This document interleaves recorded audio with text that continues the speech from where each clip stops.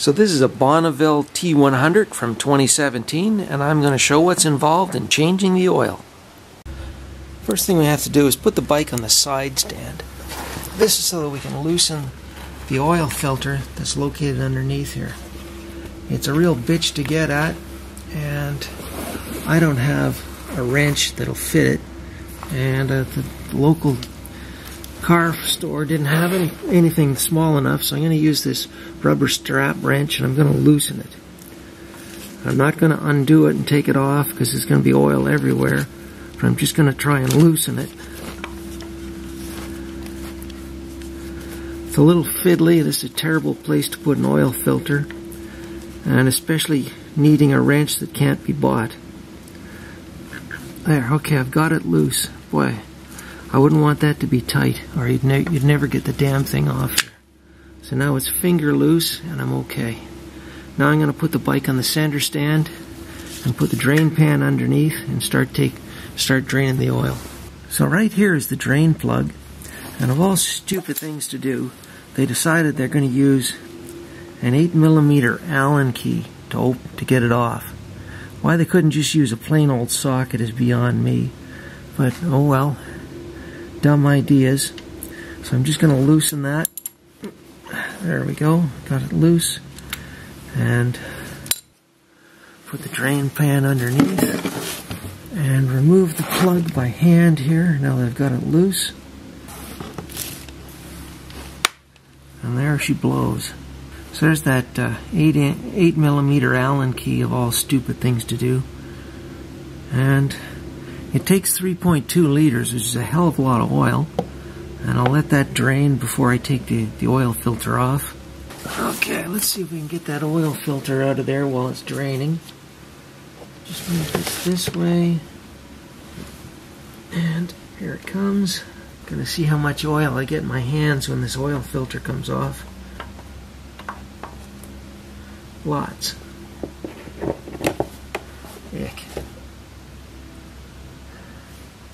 Make sure you have paper towel handy when you do that.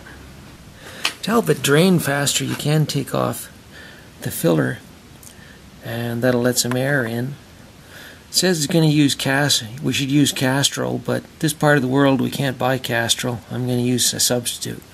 Okay, now you can see it's still dripping, but it's coming to a stop, and it's got oil dripping everywhere on the on the bottom. So you want to make sure you have newspapers down and a good wide drain pan. Now before I put this this drain plug back in, I'm going to put this this compression ring on top. Um, it's an easy thing to miss, but you want to put a new one on every time. Now the torque spec on this nut or, or drain plug is 25 newton meters, so I've got a torque wrench. And I'm going to stick that in there and uh, get that on. In the little hole there.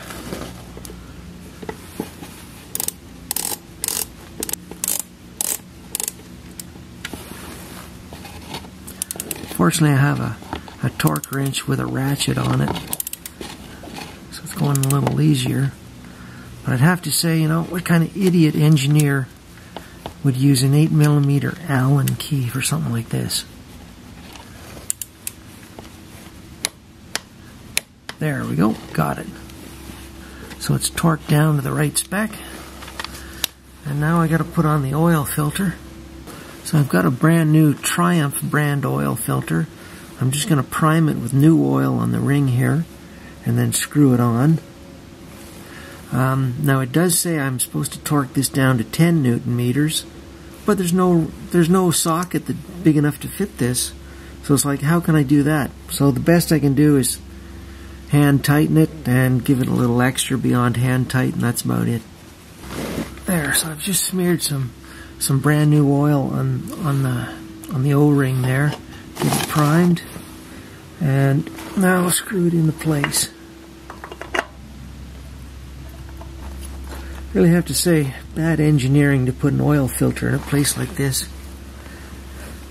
Like, how the hell am I supposed to tighten that or even get it off? There, I've got the drips absorbed.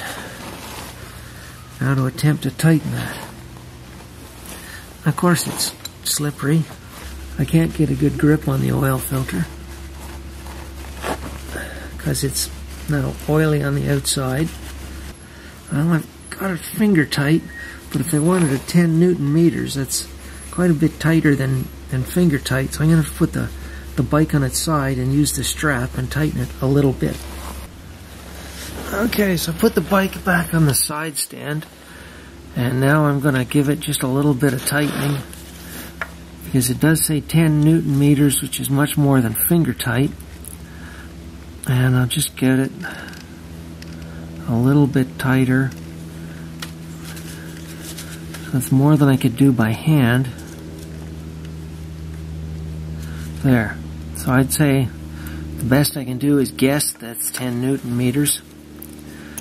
A little bit tighter than I would do by hand, which I normally do for an oil filter. Okay, so the specs say that this engine needs 3.2 liters. And what I'm going to do is I'm going to put two and a half liters in through the filler hole here. And I'm going to use this uh, measuring device to, to measure it. And I'm going to use 10W40 and this is synthetic. So I can't really show this because I can't can't set up the camera and film it. But anyways, I'll put in two and a half liters and then we'll start it and then add more until it's just right. So I've put in three liters of oil exactly in here and this has bring, brought the oil level in the sight glass to exactly full. Now I haven't run the engine and the oil filter is empty so I know I'm probably going to have to put in another 200 milliliters.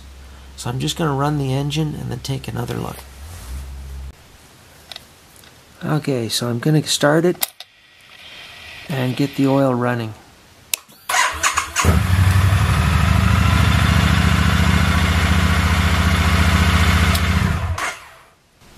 So that shows that I've got to add more because now the oil in the sight glass is way down, way below where you can see it. So I'm going to put in another 200 mLs and then we should be fine. I've got the oil at exactly where it should be. So it's right between the two lines and everything looks good. So that's how you change the oil.